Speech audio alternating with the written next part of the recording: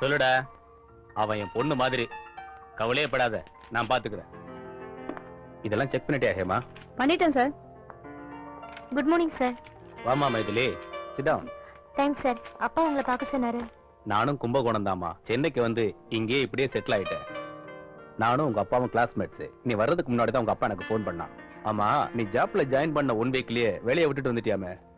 அது வந்து சார் புரியுது மைதிலி. வேலைக்கு போற அழகான பொண்ணுங்களுக்கு சாதாரணமா ஆம்பளைங்களால வர்ற ப்ராப்ளம் தான் இது. இதோ நிக்கிறாள் இவளை பாரு.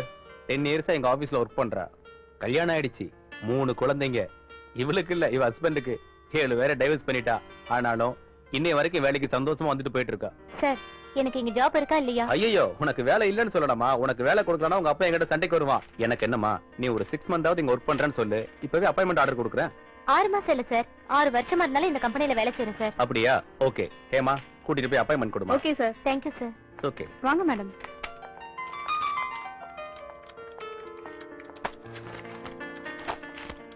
முருகா இந்த கம்பெனிலயாவது ஒழுங்கா வேலை செஞ்சு நல்ல பேர் வாங்கணும். எக்ஸ்கியூஸ் மீ இந்த கம்பெனில புதுசா வேலைக்கு சேர்ந்திருக்க என் பேரு மைதிலி. உங்க பேரு?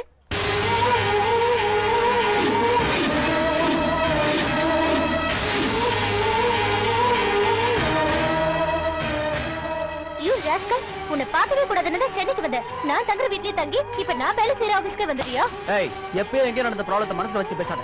நான் ஒன்னும் பிளான் பண்ணி பின்னாடி வரல. நான் சென்னைக்கு வந்ததுல இருந்து இந்த ஆபீஸ்ல தான் வேலை செய்யறேன் நான் வாடகைக்கு வந்த காம்பவுண்ட்ல நீயும் தங்கியிருக்க. அதுக்கு நான் என்ன பண்ண முடியும்? எப்போ நமக்குள்ள சண்டை வந்து நாம பிரிஞ்சோமோ அப்பவே நடந்த எல்லாத்தையும் நான் மறந்துட்டேன். நீ பேசாத. எனக்கு உன்னை பத்தி நல்லா தெரியும்.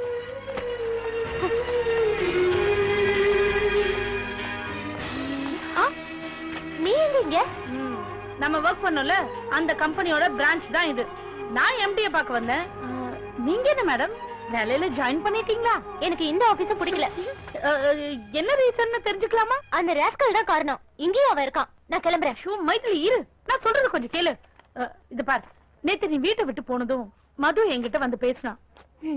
அவனும் உன்னை பார்க்க கூடாதுன்னு தான் நினைக்கிறான் ஓகே யூ நோ வாட் நான் கிளியர் பண்றேன். அவன் நேத்து வீட்டுக்கு வந்தது நீ இப்ப அவன் இருக்க ஆபீஸ்க்கு வந்தது இதெல்லாம் இயற்கையாவே நடந்தது.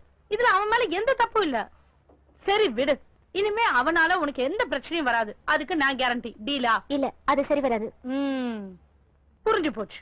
அப்போ உன் மேல உனக்கு நம்பிக்கை இல்ல. ம்? இல்ல அது வந்து ஆ, சொல்லு சொல்லு. ம் எனக்கு தெரியும். மதுவை பார்த்து நீ பயப்படுற. எனக்கு என்ன பயம்? இதே ஆபீஸ்ல வேலை செய்யறேன் உன் வீட்ல வந்து தங்குறேன்.